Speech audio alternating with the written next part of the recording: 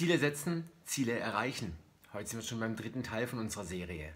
Und wir haben ja schon darüber gesprochen, wie wir uns die richtigen Ziele setzen, wie wir sie auswählen und wie wir den Plan machen, diese auch zu erreichen. Und äh, jetzt geht es darum, das auch wirklich umzusetzen.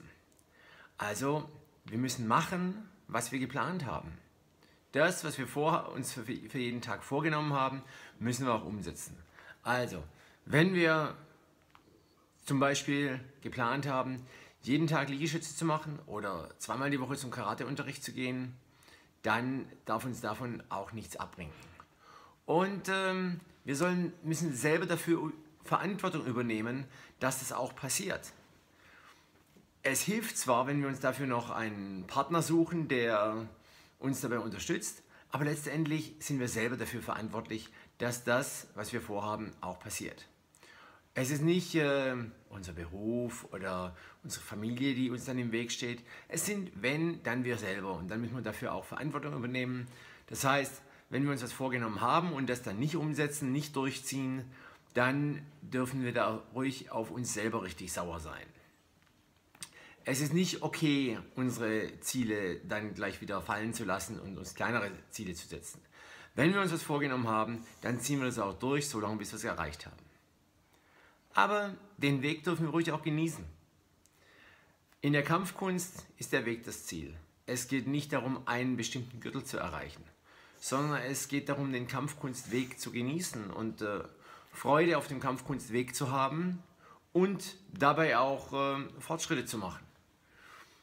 Es ist schön, große Ziele zu erreichen und äh, die Herausforderungen anzunehmen, aber wir dürfen uns auch über kleine Erfolge freuen auf dem Weg. Erfolg ist kein Ziel, Erfolg ist ein Weg. Und äh, daher müssen wir uns Wege finden, wie wir diesen Weg auch genießen können. Es geht äh, Leute, die montags aufstehen und schon auf den Freitag schielen, die tun mir leid, weil die genießen nicht den Prozess, nicht den Weg, nicht die Woche. Und äh, ich finde es viel wichtiger, dass wir uns Ziele setzen, die, ähm, die zu erreichen es sich lohnt aber die zu erreichen es vielleicht auch Freude macht.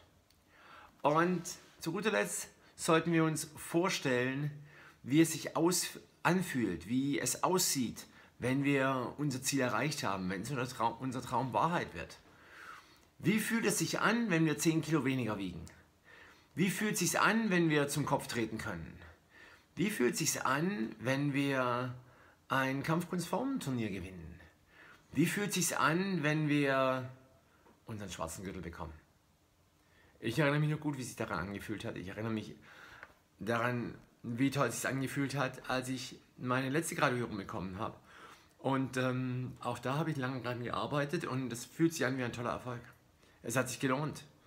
Und ähm, vor meiner letzten Schwarzgurtprüfung habe ich mit meinem Lehrer ausgemacht, dass wir jede Woche eine Privatstunde zusammen machen. Ich habe angefangen, bei ihm wieder Privatunterricht zu nehmen, ähm, weil es online inzwischen möglich ist.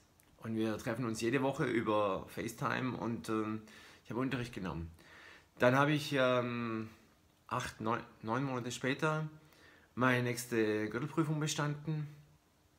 Ich habe gesagt, ich will weitermachen, weil ich den Prozess sehr genossen habe und sehr froh darüber bin, jede Woche Unterricht nehmen zu können das heißt, mein letzter Grad ist nur ein Zwischenschritt auf dem Weg, weil der Weg Freude macht und äh, der Weg mir gut tut und äh, ich heute in besserer Form bin als vor 10 oder 15 Jahren. Und in der Kampfkunst ist vielleicht auch das Ziel, 40 Jahre lang so fit zu sein wie mit 40. Ist doch eine gute Idee. Jetzt habt ihr einige Schritte, die ihr umsetzen könnt, auf dem Weg, eure Ziele zu erreichen. Ich wünsche euch ganz viel Erfolg dabei und wir sehen uns auf der Matte.